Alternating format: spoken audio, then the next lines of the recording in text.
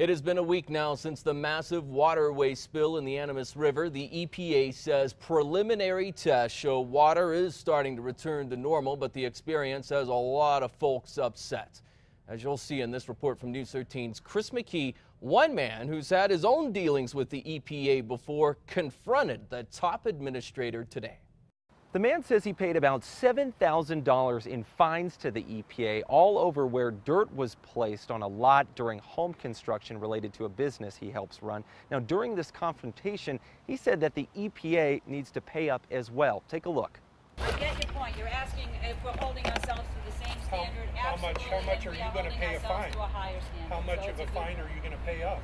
When you knock a hole in the side of a mountain the size of a garage door and let three million gallons out into a river, that's horrendous. I mean, that water goes all the way to Lake Powell. McCarthy responded by saying the EPA is taking responsibility for what happened. Last Wednesday, about 3 million gallons of wastewater from a Colorado mine with arsenic, lead, and other heavy metals washed into the Animas River and the San Juan. The Animas remains closed from Colorado down through New Mexico, but the EPA says that water quality is close to where it was before the spill.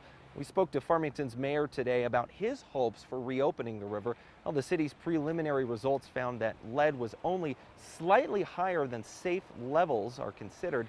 They think that will drop further. My guess is that recreation use will be opened up fairly quickly. My guess is that municipal intakes will be authorized fairly quickly. But I'm guessing that irrigation use may be uh, off limits for a while longer. Mayor Roberts is hoping for a reopening of some level, possibly tomorrow or early next week, but he has no timeline. Now, the New Mexico Environment Department, along with the EPA, will make that joint decision about when this Animas River will reopen, but again, there is no official timeline out there yet. In Farmington, Chris McKee, KRQE News 13. The EPA announced it has $500,000 available for New Mexico farmers to use for crop irrigation and livestock. Meantime, the EPA has also set up an 800 number for anyone who has questions. We've posted it for you over on krqe.com.